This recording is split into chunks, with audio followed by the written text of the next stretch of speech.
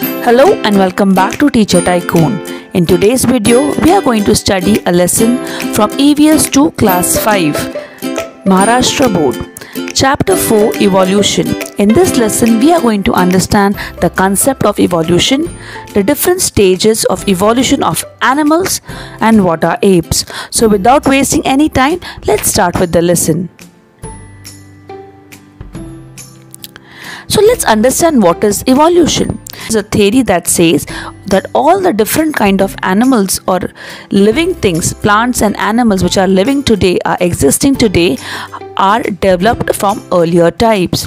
The simplest form of life arose at least 3.5 billion years ago. Over a time, they evolved into millions of other species and all the living things that are alive today. So basically evolution means what? A gradual and continuous change. A change that is slow but continuous. Sometimes the original species dies out or becomes extinct. Sometimes more than one species evolve from the original one first scientist to give us a systematic explanation of the concept of evolution was Charles Darwin. So on the screen you can see that's Charles Darwin. He was a British naturalist born in the year 1809. He was known for his famous work on the origin of species. The species which are capable of adapting to the environmental changes are able to survive. The ones that cannot do so become extinct in the process of evolution. Animals which you can see on the screen were not able to adapt, were not able to adjust with the changes in the environment and they were not able to survive and that's why they were extinct. They are no more today. The animals are dodo, Tasmanian wolf, mamo, passenger pigeon. In ancient times, there were many species of a type of animal called dinosaurs. Dinos in Greek means terrible and sauros means lizard or reptile. That means dinosaur means a terrible lizard. Some of these dinosaurs were enormous, very huge in size. They were being found everywhere in water, flying dinosaurs. They were they were animal eating dinosaur, they were plant eating dinosaur and so many other. A question that comes in every student's mind is how come when the dinosaurs are not there alive how scientists discovered about dinosaur. It, it was because of the fossils that were found in different parts of our world. So what are fossils? Fossils are the remains or trace of plants and animals that lived long ago. Fossils of dinosaur with wings have been discovered. It is believed that some species of two-legged and winged dinosaur evolved into birds the stage of evolution of animals. We have learned in the previous lesson that life on earth began with unicellular organism known as protozoa. These unicellular organism gave rise to the multicellular living thing. Multicellular organism evolved gradually and various classes of plants and animals came into being. Slowly this unicellular organism gave rise to a multicellular organism and slowly in that multicellular organism which evolved into different classes of plant and animals. As in class 5 you are going to study about human beings. We are going to see only the classes of animals Basically, animals are divided into two major classes invertebrates and vertebrates depending upon the backbone. So, invertebrates are the animals the backbone. For example, snail and earthworm. There are many more. Can you name them down below in the comment box? Vertebrates. Vertebrates are the animals which have a backbone like dog, frog and many more. So children, can you see which animals are there on the screen? Yes, can you name them from right side to the left side? Yeah, it is a fish, a frog, a snake, a polar bear, and a flamingo. Do you think all these animals stay together? Do, do you think that? Do they stay together in one place? No. Birds, they usually fly, isn't it? Polar bear, they live in a cold atmosphere on land.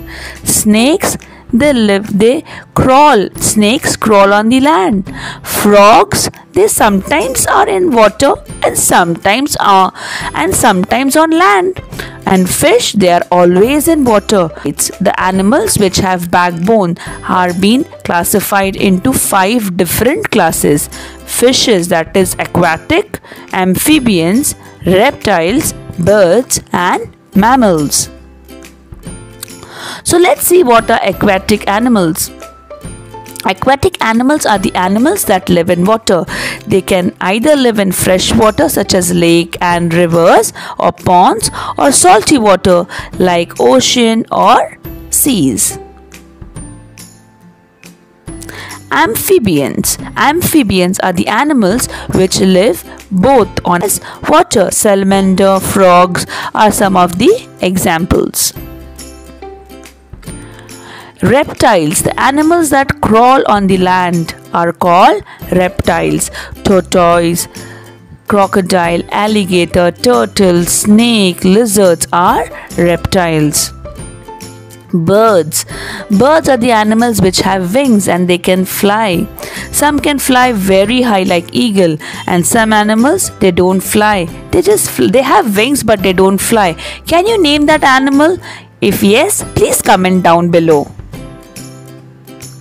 and the last class is the mammals. Mammals are the most evolved animals among all the vertebrates. Uh, mammals are supposed to be the most changed, most modified animals among all the vertebrate classes. Can you name the mammals? Tigers, bear, wolf, bull, dog, cat, so many. So let's see what are the characteristics of the mammals. The following are the characteristics of most of the mammals. First, growth of the baby in the mother's womb. Mother's womb means in the mother's stomach for some time before the birth.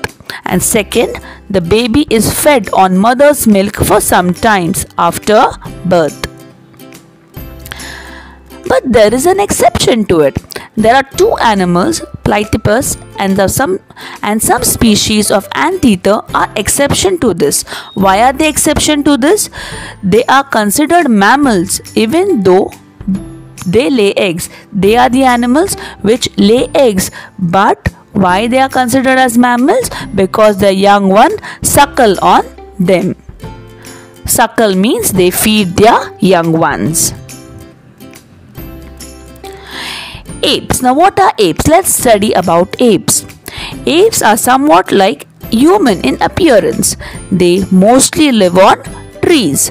Those species of apes which continue to live on tree retain their original ape-like form. Apes are what does some they are animals which somewhere look like humans in appearance and they basically live on mostly most of the time they live on trees so the apes which are still living on tree have a ape-like form. However, in grassland, some apes were forced to move around on the ground. These species evolved gradually and in time gave rise to the human species. So, humans were evolved from apes. This happened first on the African continent. The first human species is called the primitive man, where primitive means the first. I hope you have understood the lesson. You see, the evolution of human didn't occur in one or two years or hundred or two hundred years. It took thousands and thousands of years for apes to be evolved as humans.